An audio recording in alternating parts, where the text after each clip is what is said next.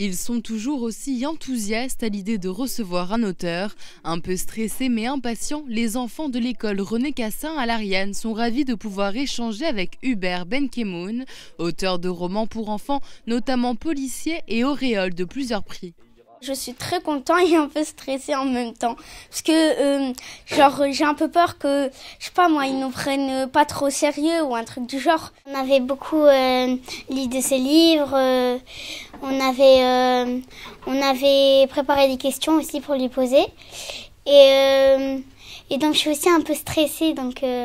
Un peu angoissé mais loin d'être timide, les CE2 ont beaucoup à dire à l'auteur et beaucoup de questions. Par exemple, le soir de rage, ça a commencé par la colère et à la fin, ça a commencé par la joie.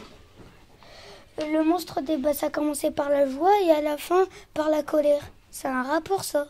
J'ai envie d'apprendre euh, euh, et c'est que a et c'est que fois euh, il a ressenti une, colère avec ses parents je veux dire une question. Comme euh, lui, il est né en 1958, moi je suis né en 2012.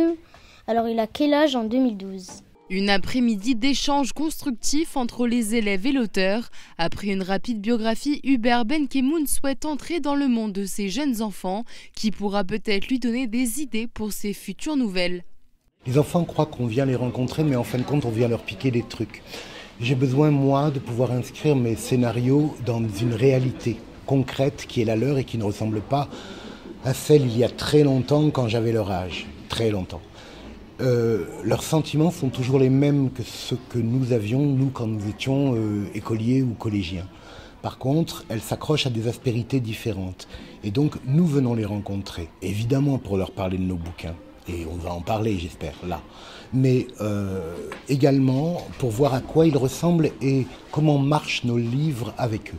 Lecture pour tous s'engage à promouvoir la lecture dans les écoles. À l'heure des écrans, cette manifestation permet de créer une envie de s'évader en lisant. Aujourd'hui, les écrans ont pris une place énorme dans la vie des enfants et des adolescents, mais c'est tout aussi surprenant de voir que euh, ils sont aussi toujours fascinés d'une certaine manière par le livre et par celui qui a écrit le livre. Donc c'est une bonne porte d'entrée que de faire parler l'auteur qui parle avec sa fougue, avec son tempérament, avec son enthousiasme, avec sa passion et qui va transmettre ça et donner envie aux enfants de découvrir. Et pour cette année 2021, le programme est alléchant. Nous allons avoir des auteurs écrivains évidemment, mais aussi des comédiens. En comédien, nous aurons normalement Sylvie Testu, Samy Boisgila, peut-être Samuel Le Bihan.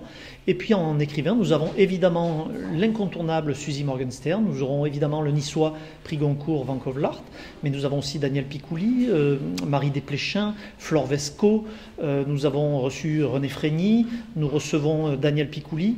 en fait, c'est un panorama extrêmement varié d'écrivains adultes et d'auteurs jeunesse. Lecture pour tous est une opération qui se déploie dans les écoles, collèges et lycées de la ville de Nice.